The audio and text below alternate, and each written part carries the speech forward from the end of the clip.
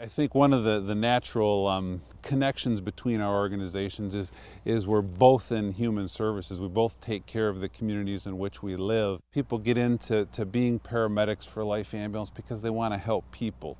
And everybody at the Red Cross uh, naturally wants to help people and have, have uh, found a professional way to do that or a way to do that in a volunteer capacity. And, and so naturally, I think our people uh, work well together because of that desire to to help others. We joined with the Red Cross because we have 24-hour um, medical call center capabilities um, for our customers. It was a natural to join with them to provide them emergency response 24 hours a day. So when somebody needs uh, help for a fire um, or what have you, um, they can access that through our live call center at 3 in the morning or, or whenever on the weekends, those kinds of things very often both Life EMS Ambulance and the uh, uh, West Michigan American Red Cross are at the same emergency scenes. And so that synergy is there and the connection on how we help people, um, whether it's helping train folks in CPR and life-saving techniques or providing um, support for folks at 3 in the morning when they've been burned out of their house.